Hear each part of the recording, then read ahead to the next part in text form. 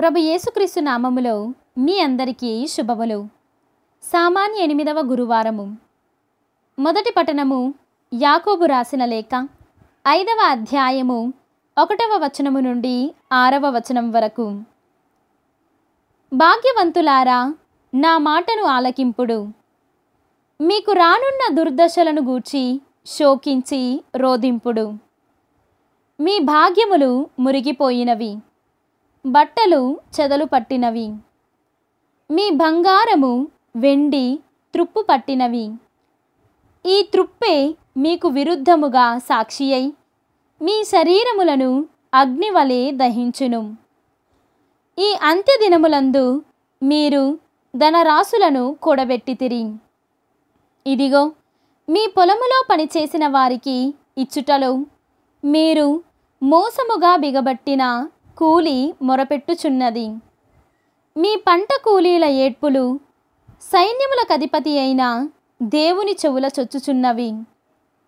మీ ఐహిక జీవితము భోగభాగ్యములతో తూలతూగినది వధింపబడు దినమునకై మీరు బాగుగా బలిసితిరి. మీరు నీతిమంతుడైన వానికి శిక్ష విధించి వానిని చంపుదురు. అతడు మిమ్ము ఎదిరింపడు. ఇది ప్రభువాక్కు సర్వేశ్వరునికి వందనములు. ఈనాటి సువిశేషము పునీత మార్కు గారు వ్రాసిన సువిశేషము తొమ్మిదవ అధ్యాయము నలభై ఒకటవ వచనము నుండి యాభైవ వచనము వరకు.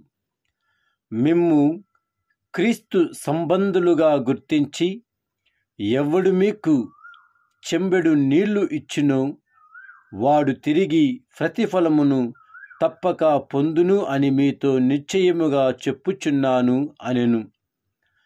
నన్ను విశ్వసించు ఈ చిన్నవారిలో ఏ ఒక్కడైనా పాపి అగుటకు కారకుడగుట కంటే అట్టివాడు తన మెడకు పెద్ద తిరుగుటరాయి కట్టబడి సముద్రములో పడద్రోయబడుట వానికి మేలు. నీ చేయి నీకు పాపకారణమైనచో దానిని నరికి పారవేయుము. రెండు చేతులతో నిత్య నరకాగ్నిలోనికి పోవుట కంటే ఒక చేతితో నిత్య జీవము పొందుట మేలు.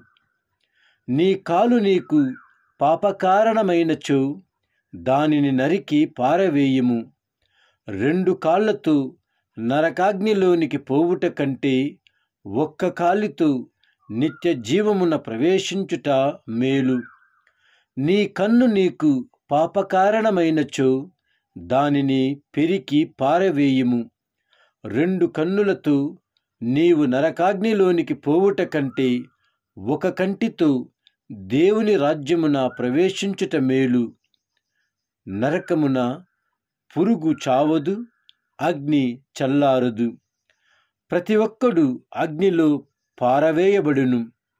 ఉప్పు మంచిదే కాని అది తన ఉప్పుదనమును కోల్పోయినా తిరిగి మీరు ఎట్లు దానిని సారవంతము చేయగలరు?